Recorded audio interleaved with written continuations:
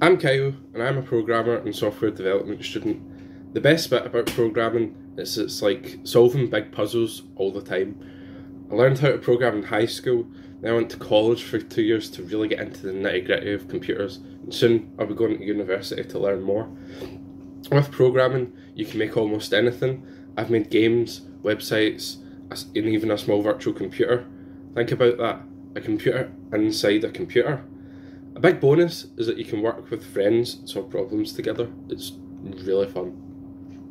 There are literally hundreds of programming languages, and each one is used for something specific. There are languages that control the parts of a computer or make games, languages that can be used to make entire websites, or even to make AI, artificial intelligence.